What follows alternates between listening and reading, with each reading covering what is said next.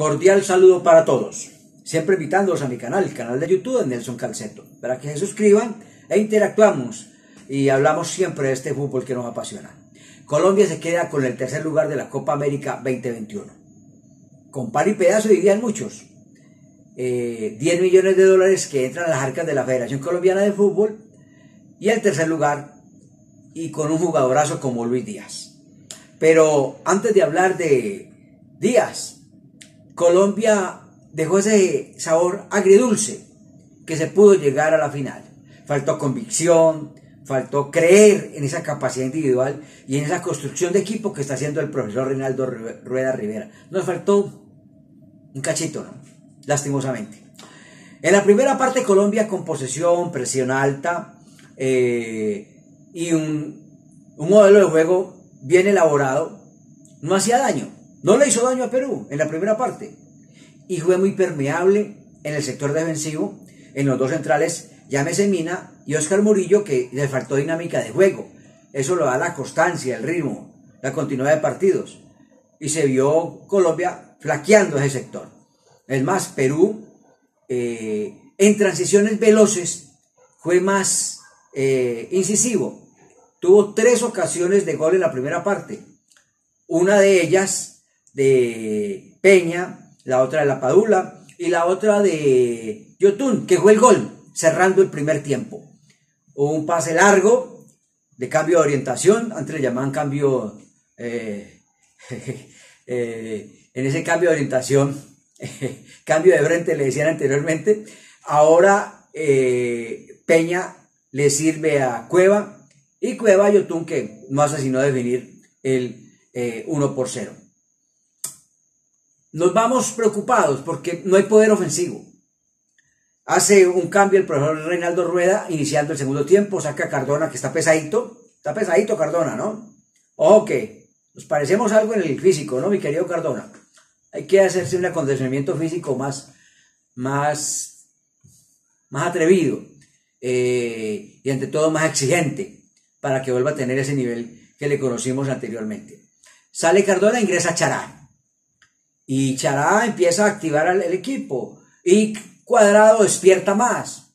Y al minuto 4 aparece un tiro libre. Cuadrado lo cobra espectacularmente. Se lo come la barrera al palo izquierdo del golero galese. Uno por uno. Colombia, que estaba empezando a jugar muy bien. Y hace tres años no hacíamos un gol de tiro libre. Impresionante, ¿no? Bueno, eh, para las estadísticas y después lo comentaremos más adelante. Aparece esos cambios de ritmo de Colombia, más agresivo, continúa la presión alta, llega eh, ocasiones de gol por el mismo cuadrado, salva Galese por el mismo Luis Díaz, que ahí quería llegar. Lucho Díaz. Hace, a uno le llama tijera, a otro le hacen pirueta, a mí se me parece más a la cabañuela. ¿Recuerdan del desaparecido Roberto Cabañas que hacían en América de Cali en la década del 80? Los que lo vieron o que hay videos, pero lo pueden constatar.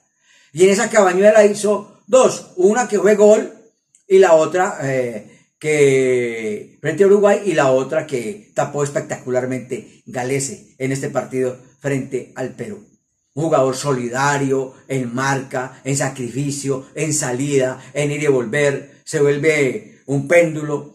Impresionante la Copa América de Luis Díaz. Marca tres goles, eh, es el mejor de Colombia y uno de los mejores de la Copa, que debe estar en el once ideal. Esperemos que así, que así sea. Colombia sigue apurando para llegar al 3 por 1, no le alcanza en un tiro de esquina, pelota quieta nuevamente, se la come toda la defensa colombiana, llega la Padula, importante jugador del Perú, importantísimo en la Copa también, cabezazo y 2 por 2.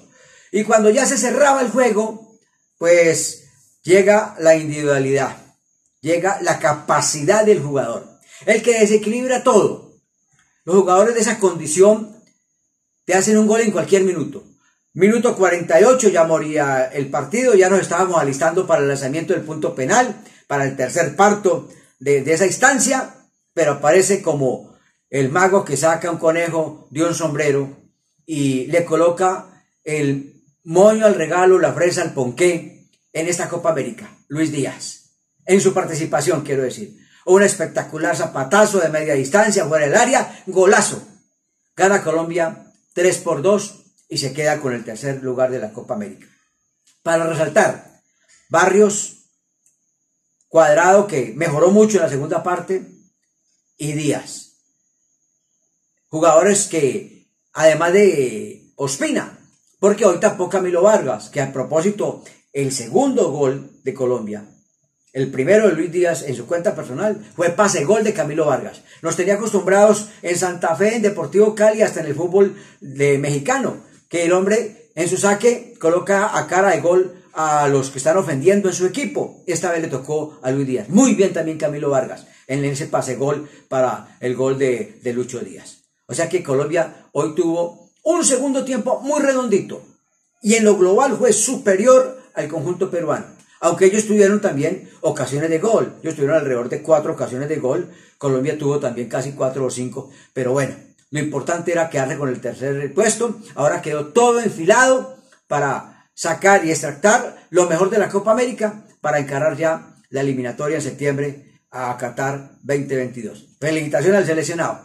Queríamos la final y hasta el título, ¿no? Todo lo queremos se pudo llegar. Lastimosamente nos quedamos con el tercer puesto, pero se vio una cara, ante todo en el segundo tiempo, muy bien planteada por parte del profesor Reinaldo Rueda Rivera, que sigue con miras a construir un equipo sólido para que lleguen los resultados positivos.